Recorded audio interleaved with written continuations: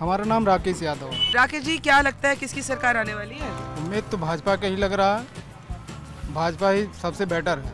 लेकिन आप चाहते हैं भाजपा की आए आप सपा को नहीं पसंद करते? जी नहीं बिल्कुल नहीं। आप अखिलेश यादव को इतना क्यों एक तरह से नापसंद करते हैं? उन्होंने जो काम किया है अपने पिताजी के साथ वैसे नहीं करना चाहिए। हम भी एक यादव हैं और मुझे बहुत बुरा लगा। जब उन्होंने अपने पिताजी के साथ ऐसा किया। पहले आप पसंद करते थे सपा को?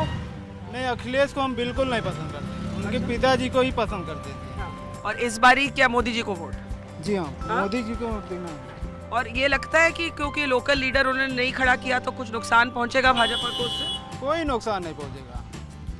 जैसे राज्यसभा जो जीते थे हाँ। उसी तरह विधानसभा भी जीतेंगे।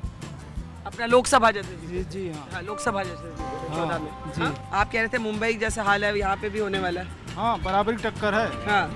भाजपा और मायावती के बीच में। आप कह रहे हैं यहाँ ज़्यादा टक्कर है बसपा और भाजपा की सपा की नहीं? जी नहीं। सपा को तो बिल्कुल उम्मीद नहीं जताया जा रहा है। उन्होंने एक स्लोगन दिया है काम बोलता है तो आप उस पर क्या बोलेंगे? उनका काम नहीं बोलता है उनका कर्म बोल रहा है। वो तो विदेश से पढ़ के आए हैं उन्हें क्या मालूम? कहते हैं कि जो है हमने बहुत बुरे दिन देखे। क्या दिन देखे हो? अरे विदेश से पढ़ के आए हो, तत्काल जो है मुख्यमंत्री बन गए। कौन सा बुरा दिन देख लिए भाई?